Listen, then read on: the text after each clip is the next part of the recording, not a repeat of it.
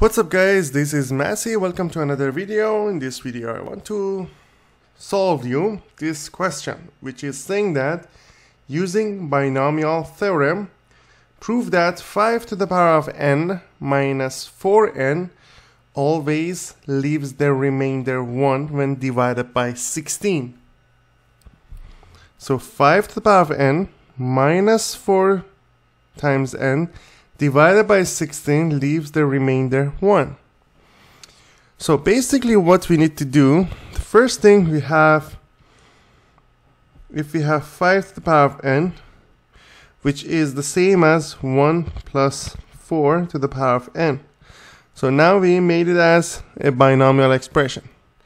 So if you want to expand it, it's going to be basically n c0 1 to the power of n 4 to the power of 0 plus n c1 1 to the power of n minus 1 4 to the power of 1 plus n c2 1 to the power of n minus 2 4 to the power of 2 and so on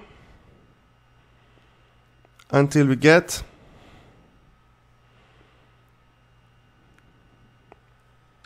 c n c n. 1 to the power of 0 4 to the power of n. So basically that's gonna be 5 to the power of n equals to this one is 1 this one is 1 and this one is 1 so 1 plus this number times 1 to the power of any number is still 1 times 4 so it's going to be basically nc1 times 4 plus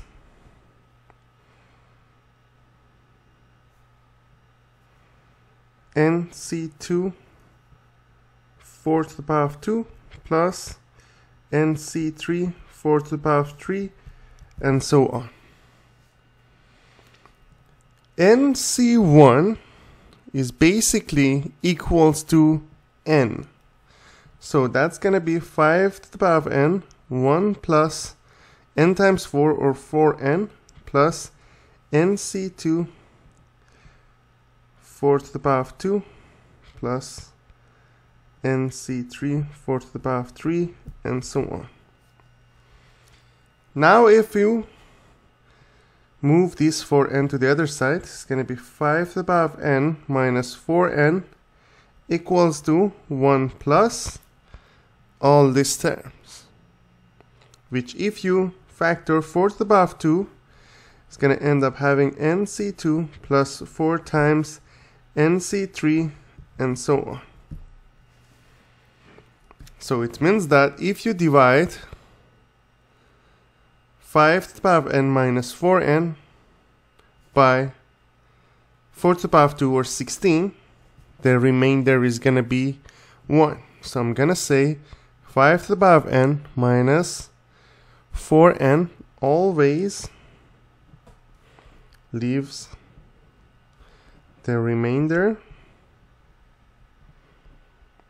1 when divided by 16. So that's the final answer. That's how we prove it. I hope you enjoyed this video. Please leave me a comment if you have any question. And please don't forget to subscribe this channel and recommend it to your friends and your colleagues. Thank you for watching and have a great day.